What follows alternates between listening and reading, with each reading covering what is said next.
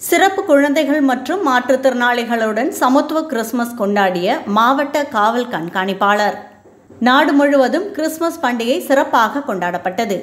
இந்நிலையில் தென்காசி மாவட்ட காவல் கண்காணிப்பாளர் திரு கிருஷ்ணராஜ் ஐபிஎஸ் அவர்கள் கிறிஸ்துமஸ் பண்டிகையை வடகரையில் அமைந்துள்ள அன்பு இல்லத்தில் கொண்டாடினார். சுமார் நூற்றி இருபது சிறப்பு குழந்தைகள் மற்றும் மாற்றுத்திறனாளிகள் வசித்து வரும் இந்த இல்லத்திற்கு மாவட்ட காவல் கண்காணிப்பாளர் அவர்கள் நேரில் சென்று அங்கு உள்ளவர்களுடன் இணைந்து கேக் வெட்டி சமத்துவ கிறிஸ்துமஸ் பண்டிகையை சிறப்பாக கொண்டாடினார். மாவட்ட காவல் கண்காணிப்பாளர் அவர்களின் இத்தகைய மனிதாபிமானமிக்க இச்செயலை அப்பகுதி மக்கள் மட்டுமல்லாமல் அனைவரும் பாராட்டி வருகின்றனர்.